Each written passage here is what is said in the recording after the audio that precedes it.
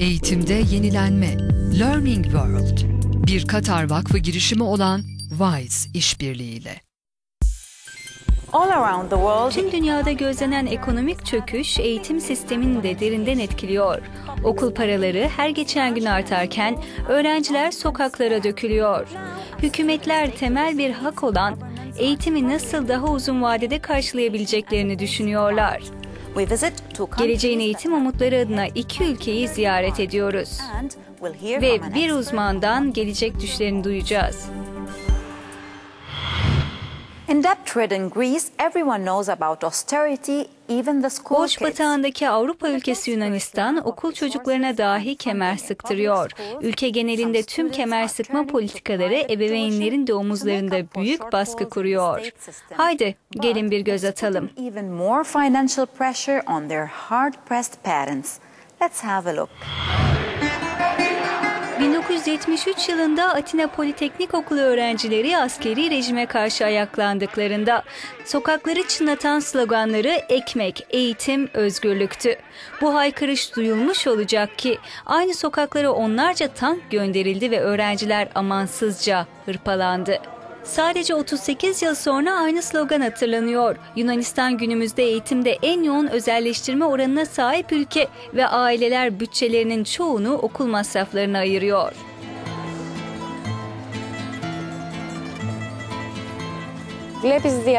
Her gün okulların kapandığına şahit oluyoruz. Finansal kaynaklarımız küçülüyor. Arkadaşlarımızın işsiz kalma riskine tanıklık ediyoruz.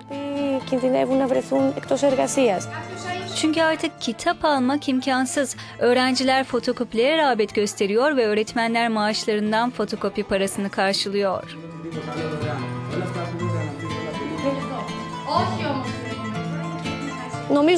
Devlet okullarındaki yeni durum öğrencilerin en iyi öğretmenlerle dahi üniversiteye giremeyeceklerine inanıyor olması. Onlar özel akşam etütlerine girmezlerse ya da yaz okuluna gitmezlerse bunu başaramayacaklarından emin.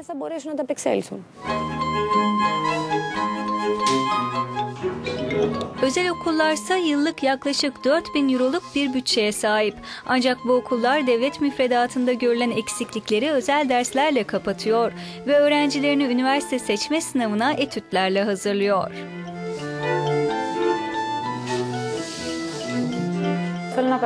Ben askeri σχολές. okula gidip denizci olmak istiyorum. Benim hayalim hep denizle iç içe olmak ve bu alanda okumayı çok istiyorum. Ve tabii bir de askeri eğitim almam benim maaşımı da garanti altına alıyor. İş bulmam da garanti. Bugünkü gibi bir ekonomik kriz döneminde de telaşlanmanıza gerek yok. Çünkü yarın işiniz hazır. Σή- ε, Σήμερα με την οικονομική κρίση, αν αύριο θα έχεις δουλειά ή όχι. İyi bir eğitim için gerekli görülen akşam kursları ise herkes için mümkün değil. Çünkü çok pahalı.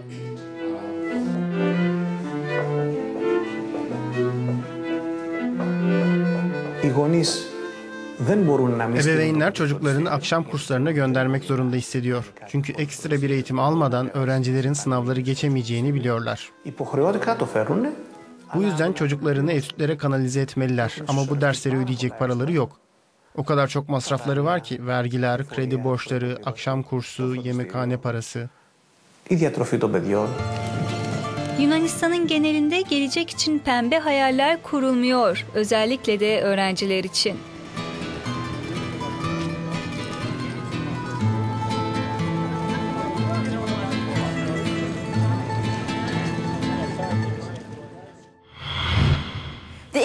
Eğitimcilerin en sık karşılaştığı sorunlardan biri de eğitim krizi. Bütçe kısıtlayıcı reformlar çok zorlu kararları beraberinde getiriyor. Peki uzun zamanda neler yaşanacak? Dublin Teknik Enstitüsü Yüksek Eğitim Araştırma Kurumu'ndan Profesör Ellen Hazenkorn'la görüştüm.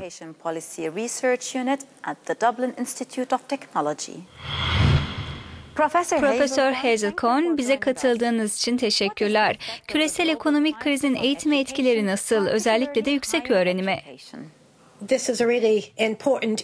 Aslında bu tüm ekonomik krizin gölgesinde kaybolan ama çok önemli olan bir konu. Sistematik olarak birçok hükümetin birbirleriyle yarış halinde bazı politikaları uyguladığını gözlemliyoruz. Yüksek öğrenim sistemlerini yeniden inşa ediyorlar. Dünya kapsamında üniversiteler küresel ekonomide de lider durumuna geliyor. um, as being a panacea for success in a global economy.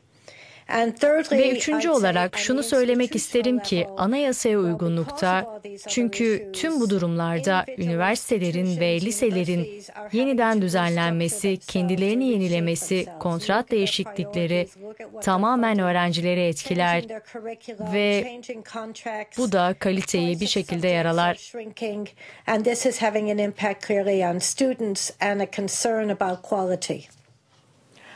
Küresel kriz eğitim sisteminde daha büyük değişimler de yaratacak mı? Yüksek öğretimde um, daha büyük değişimler göreceğimizi düşünüyorum. Bazıları küresel, bazıları ise ulusal alanda gerçekleşecek. Uluslararası alanda öğrenci sayısının 200 milyona ulaştığı günümüzde gelişen baskı da bu çocuklarımızın omuzlarında. Um, Üniversitelerin artık çok dilli olduğunu görüyoruz. Mesela çoktandır Amerikan üniversitelerinde görülen bir gerçek şu. Dünyanın birçok bölgesinden, özellikle Orta Doğu'dan öğrenciler yer alıyor aynı kampüste. Şimdi hükümetler nereye ne kadar para yatıracaklarının hesabını yapıyor.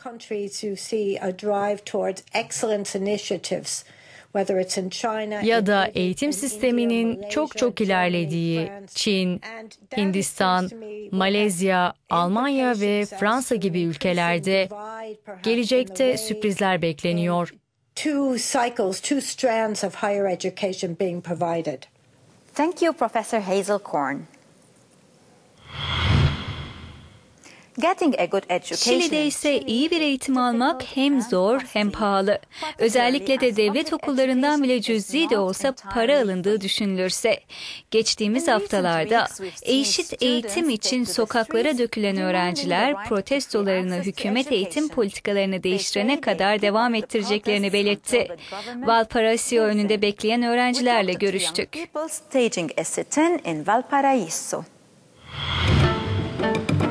1993 yılına kadar Şili'de paralı ve parasız eğitim olmak üzere eğitim ikiye ayrılıyordu. Ancak her türlü eğitim için artık bir meblağ ödeniyor. Ebeveynlerin devlet okullarında dahi çocukların eğitim masraflarını ödediği Şili'de hükümet şimdi burslu eğitim ilkesini geliştirmeyi amaçlıyor. Yani herkes için bedava eğitim imkanı yaratılmaya çalışılıyor ama bakalım işe yarayacak mı? En Chile Şili'de devlet eğitim eşitliğine gözlerini yumdu. Yüksek öğrenim standartlarını desteklemek yerine başka konulara yöneldi. Ben özellikle çocuklar için devletin görevinin iyi bir gelecek hazırlamak olduğuna inanıyorum. Sırf bu yüzden bile devlet eğitim masraflarını karşılamalı. Şili'de yoksul aileler ayda 25 lirayı bulan okul masraflarını dahi karşılamakta zorluk çekiyor.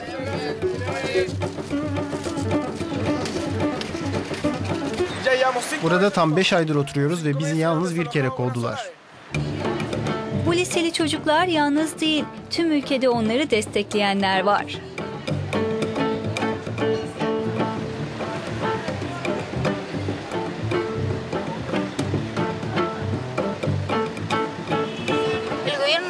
Devlet bizden çekiniyor çünkü onlar durumun herkes tarafından bilinmesini istemiyor. Bizim taş attığımızı falan söylüyorlar ama farkındalık artıyor artık. Evet, farkındalık çığ gibi büyüyor. Santiago'da bazen sayıları yüz binlerle ifade edilen kişi sokakta oluyor ve öğrencilerin en doğal hakkı eğitim eşitliğine onlar da destek veriyor.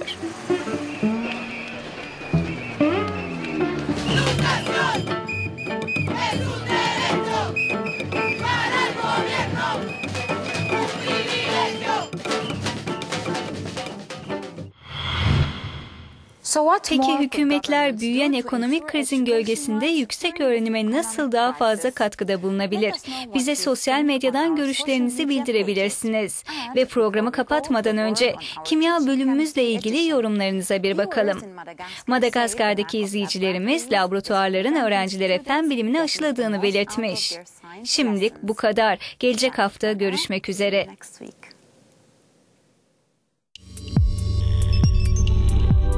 Learning World, bir Katar Vakfı girişimi olan WISE işbirliğiyle.